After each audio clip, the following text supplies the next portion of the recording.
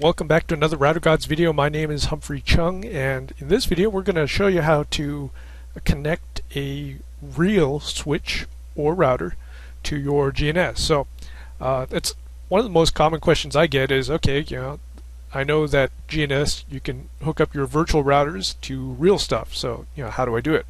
Okay, so let's assume you're on a laptop and uh, most laptops, actually probably all laptops today, will come with a Ethernet port right? Fast Ethernet ports. Some of the higher-end ones will come with a gigabit Ethernet port.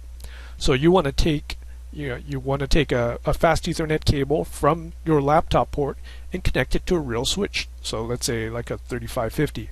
So we're we're assuming that you already have the 3550 or whatever router or switch you know on on the table. It's already set up. You've consoled into it, set up the IP addresses and stuff like that. So we go into GNS3 and let's say you wanted to hook up a virtual 2691 to your real switch. So it's pretty easy. Drag in the, tw the 2691. Actually, I should not have undid the node types. Okay, then we're going to drag in the cloud. Okay, so you probably always wonder what the heck was this cloud thing. Well, the cloud thing is what your real interfaces on your laptop are. So what we're going to do is we're going to right click on this cloud thing, we're going to configure, click on C1, and you can see we've got generic Ethernet NIO. Okay, as we click on that, we're given a couple things, and the second thing on the drop down is my uh, network adapter. It's the Realtek uh, fast Ethernet adapter. We can click on that, and then we're going to add it. All right, so it's it's popped in right there.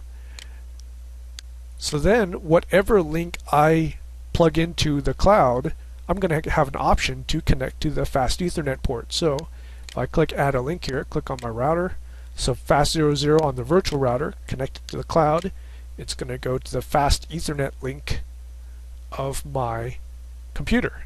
So we're going to click on that. And then what we would do is we would uncheck add a link.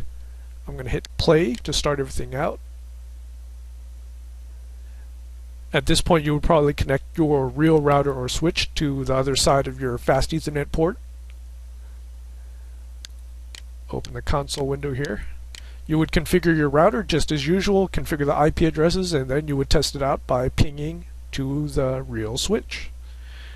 So that's that's a pretty easy way of connecting your virtual switches to real switches or virtual routers to real routers or real switches.